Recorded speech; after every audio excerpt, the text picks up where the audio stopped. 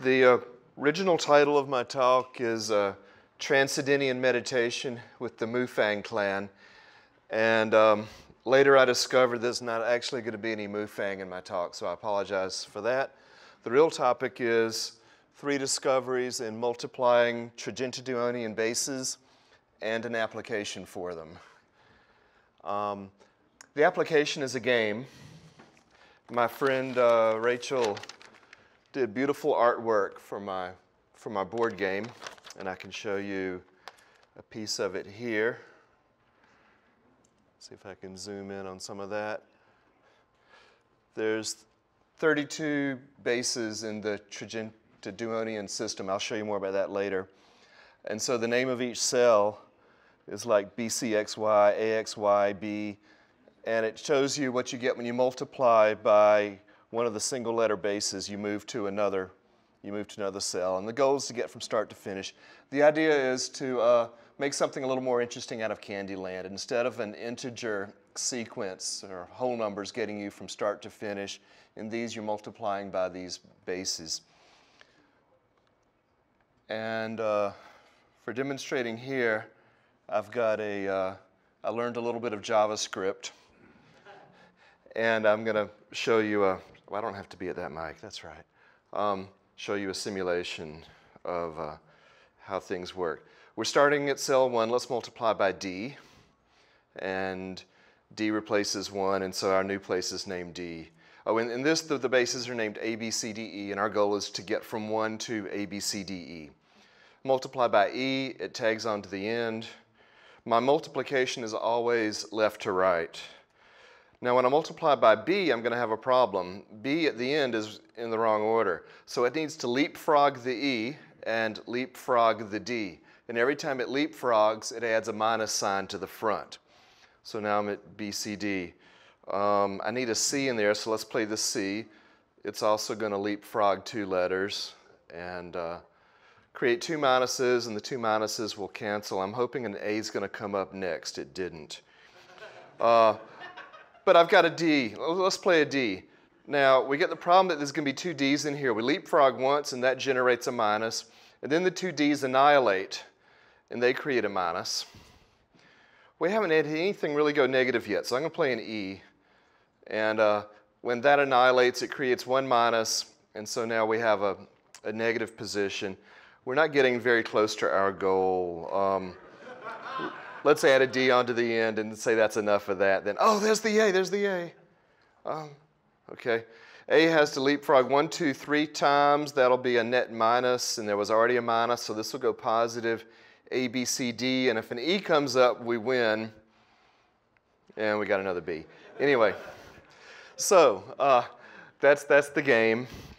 And um, my three discoveries are um, the annihilating leapfrog identity, the letter gap symmetry, and multiplying by dissociate then fix. Um, what I just showed you was the annihilating leapfrog identity. Oh, here's the, here's the tiny little summary. When I keep saying this word Trigintaduonion, uh, there's a sequence of complex number spaces that starts with real numbers and goes complex. Then the quaternions, which are four-dimensional. The octonions are eight-dimensional. Sedenions. Trigintaduonions are 32 dimensions in which one dimension is real, and all the others, which are the ones that are made out of letters, A, B, A, B, C, A, B, C, uh, those are all imaginary. So if you multiply any of those by themselves, they annihilate and produce a minus one. And in this talk, I'm writing the bases A, B, C, D, E. So uh, the only real number in here is 1. Uh, make a duplicate of that 1 and add an A, and we get the complex numbers. Most people call it I. I'm calling it A. Uh, to get the quaternions, we duplicate those and add a B. So B and AB get added. Hamilton called them IJ and K. I'm calling them AB and AB.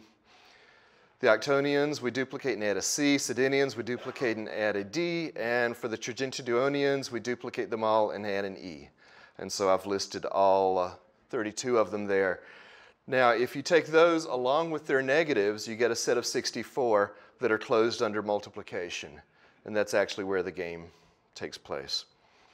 And uh, from here on, I'm only going to be talking about these Trigintaduonion bases. There's a lot of other Trigintaduonion numbers that you get if you multiply these bases by coefficients and add them together, but we just want these basis vectors. And uh, canonically, I'm always writing them in alphabetical order and with no duplicates. My convention, I've already said, is multiply left to right. All right, some warnings about this number system. They're not commutative, so don't assume that xy equals yx. They're not associative, so don't assume that you can move the parentheses around. Uh, they're not Moufang, they're not alternative. They are some other things. Uh, they're anti-commutative. Um, xy is equal to minus yx if x is not equal to y and neither of them are 1. One minute, are you serious? Okay. He is serious. All right.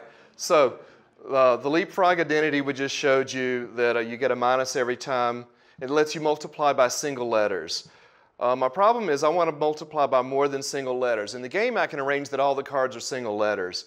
Um, so letter gap symmetry says if I know a theorem like that ABC times AC equals minus B, I can change the letters as long as the mapping of letters, which you see down here, the lines don't cross. I can replace A with B, B with D, C with E. There's a couple of similar things that are known, uh, but I haven't seen it in quite this form. And finally, I'm going to show you two twist tables. This is a table in which the dark cells tell you that the product is negative, and this is a table that tells you if you ignore the parentheses and just remove the parentheses, uh, do you get the right result or not? In the dark ones, you don't. Notice that this table is a lot simpler than the twist table for regular multiplication. And so in my game, with the, get the advanced card set, we multiply by dissociating first, removing the parentheses, and then looking a number up in this table, which is much simpler. And that gives us the right answer. And I'll leave it at that.